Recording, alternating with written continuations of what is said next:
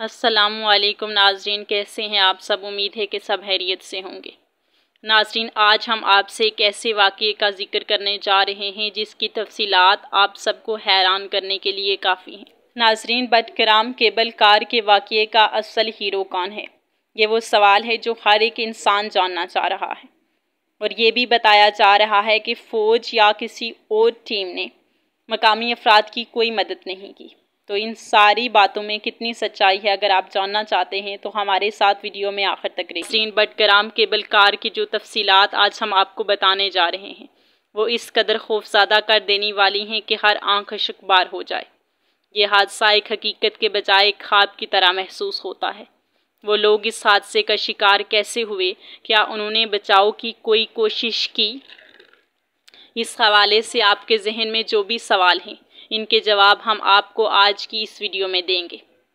नाजरीन, आपने मुंगल का सारा दिन बटगराम वाक़ी के बारे में सुना और देखा होगा कि जब एक मकामी केबल कार की रस्सी टूटी और वो नौ सौ फुट की बुलंदी पर हवा में मुखलिक होकर रह गई, ये वाक़ सुबह के वक़्त पेश आया, जब एक मकामी लोगों का ग्रुप अपने मामूल के मुताबिक स्कूल जा रहा था। इस केबल कार में आठ अफराद मौजूद थे।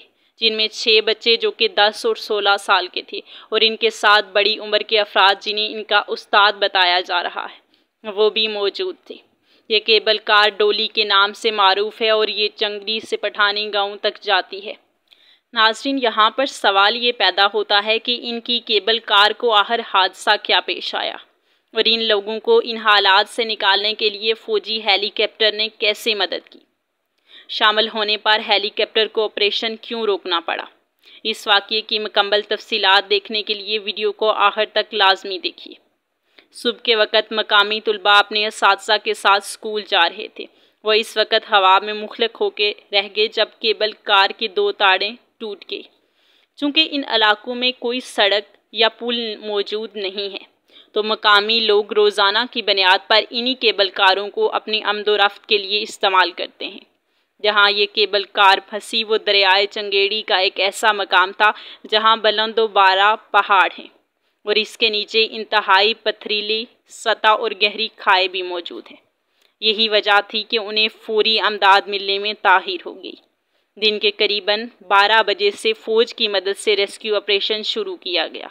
लेकिन हवा के तेज़ दबाव की वजह से हेलीकॉप्टर का वहाँ पहुँचना मुमकिन नहीं लग रहा था।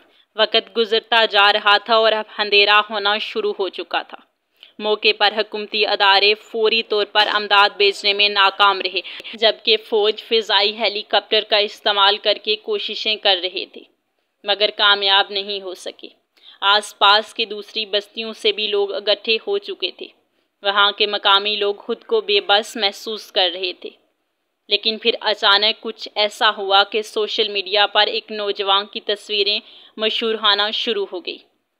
ज़िला बशान के नौजवान साहिब खान ने इस मुश्किल घड़ी में अपनी हिम्मत आप के तहत और तमाम मकामी आवाम की मदद से यकतरफा डोरी बनाकर महसूर अफराद को बचाने का अज़म किया।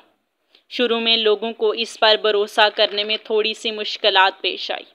लेकिन नौजवान ने हिम्मत ना हारी और अपनी बनाई हुई जिप लाइन की मदद से वो इस ख़तरनाक मकाम तक पहुँचे जब उन्होंने डोली में मौजूद लोगों को देखा। तो वो लोग बहुत ही मुश्किल हालात में थे। कुछ बच्चे डर और खौफ से बिल्कुल सहमे हुए चुपचाप थे, जबकि कुछ ने हैरत अंगेज सवाल किए।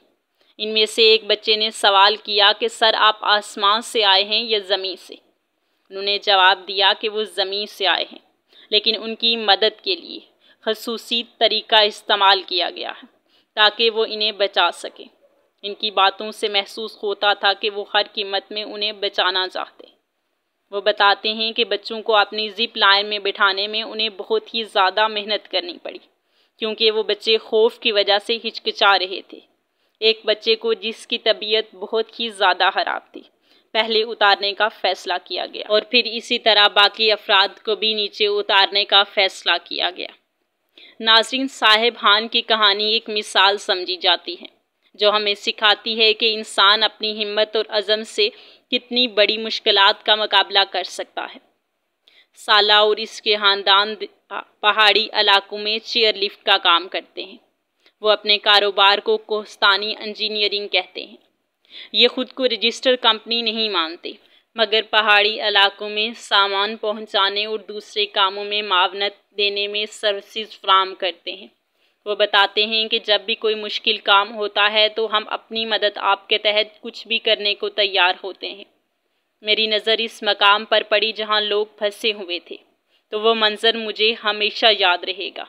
वो मेरे साथ ऐसे लिपटे जैसे हम एक बहुत मोहब्बत के रिश्ते में बन चुके हैं।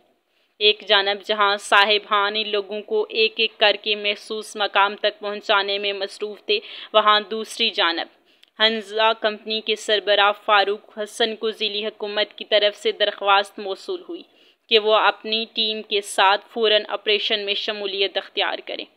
फ़ारूक हसन ने मीडिया से बात करते हुए बताया कि किस तरह उन्होंने अपनी टीम के साथ ऑपरेशन के दौरान आई मुश्किल पर काबू पाया। वो बताते हैं कि जब मनसारा की इंतज़ामिया ने इनसे रबता किया तो उन्हें बताया गया कि अब तक सिर्फ़ एक फ़र्द को महफूज मकाम तक पहुँचाया गया है। फारूक हसन ने कहा कि हमने इनसे वादा किया कि हम पूरी कोशिश करेंगे। हवा की शिद्दत के बावजूद हमने फैसला किया कि जिप लाइन का इस्तेमाल करके इन लोगों को निजात दिलाएँ। इस मौके पर फौजी हेलीकॉप्टर ने इन्हें और इनकी टीम को वहाँ तक पहुँचाया, जहाँ वो लोग फंसे हुए थे। इनकी टीम में ग़ुलाम मुस्तफ़ा और राशिद भी शामिल थे और एक फ़ौजी जवान तारक ने भी इनका साथ दिया।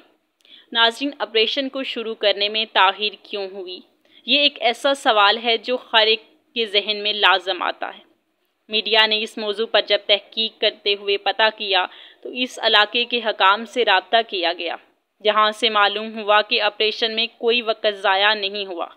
वो मकाम इतना दूर था और वहाँ रेस्क्यू टीम को भी पहुँचने में ज़्यादा वक़्त लगा। इन बातों से वाजिया होता है कि फ़ौज अहलकार दोपहर को मौके पर पहुँचे थे। आर्मी की मदद से ऑपरेशन को तेज़ी दी गई, लेकिन इब्तदाई कामयाबियों के बाद मौसम बदल गया। बादल छाए और हेलीकॉप्टर का इस्तेमाल महफूज नहीं रहा।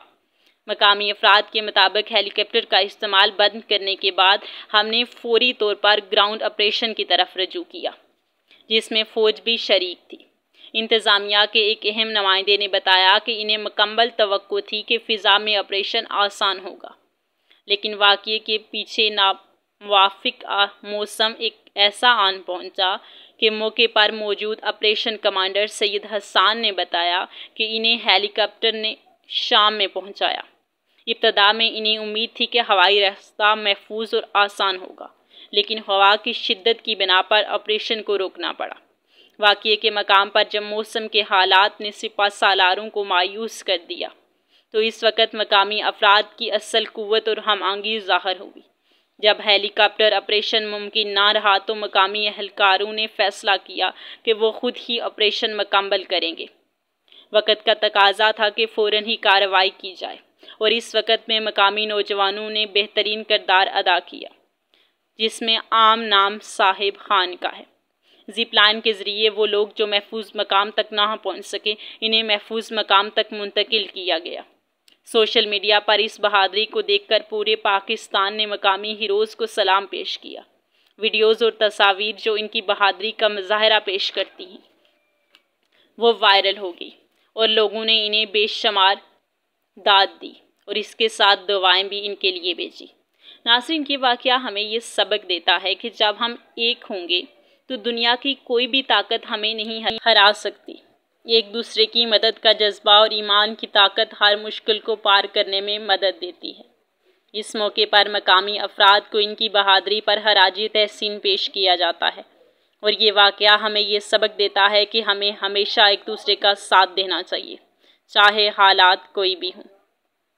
नाजरीन, ये पूरा वाक़ ना सिर्फ़ फ़ौज की बहादरी पर कायम है और ना ही मकामी अफराद की वजह से, बल्कि सबने मिलकर यकसा इस पूरे वाक़े में अपना किरदार अदा किया, जिसकी वजह से उन बच्चों और बुज़ुर्गों को बचाया गया। नाजरीन, ये थी हमारी आज की वीडियो। उम्मीद है कि आपको हमारी ये वीडियो पसंद आई होगी। अगर वीडियो पसंद आई तो वीडियो को लाइक कर दें। अगर चैनल पर नहीं है तो चैनल को सब्सक्राइब कर दें और साथ मौजूद बेल के आइकन को भी दबा दें। ताकि हमारी आने वाली हर नई वीडियो का नोटिफिकेशन बसानी आप तक पहुँच सके। मिलते हैं एक नई वीडियो के साथ। तब तक अपना बहुत सारा ख्याल रखिएगा। अल्लाह हाफिज़।